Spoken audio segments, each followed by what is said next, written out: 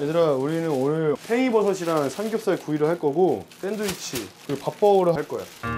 로운이 형이 평소에 야 찬이야 요리해줄게 요리해줄게. 막 그랬거든요 약간 요리 못할 것 같은데? 라고 했는데 오늘 갑자기 시장에 데리고 가서 요리를 해주더라고요.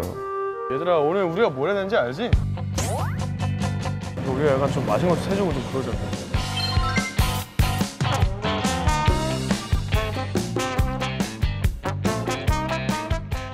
2차 미션을 준비하면서 많이 힘들었는데 저희 팀원들 좀 사기도 이렇게 올려줄 겸 맛있는 것도 먹고 좀 의기투합해서 열심히 해보자는 의미로 피크닉 같은 거를 한번 어머님들께서 음식 해주셨을 때 맛있게 먹기만 해도 사실 되게 큰 기쁨이잖아요. 만들면서 아 진짜 맛있게 먹기만 했으면 좋겠다. 계속 그 생각했던 것 같아요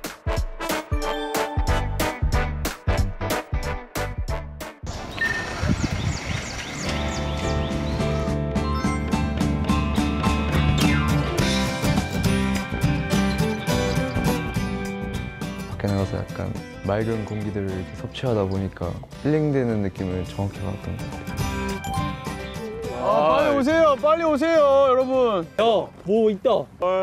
이게 뭐야?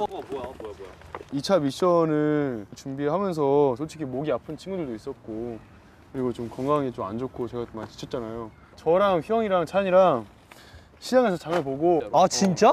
그럼 너희가 만든 거야? 어, 약간 의외라고 생각을 했나 봐요 해줄게 해줄게 말만 하다가 진짜 해왔으니까 진짜 했어? 약간 이런 반응이었던 것 같아요 열어도 돼, 열어도 돼. 네, 열어보세요 열어보세요 요, 요. 우와 비주얼 봐.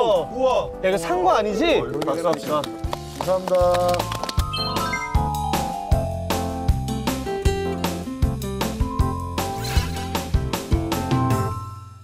진짜 너무 깜짝 놀랐어요. 아니 무슨 타온 것도 아닌데 이렇게 만들지 이러면서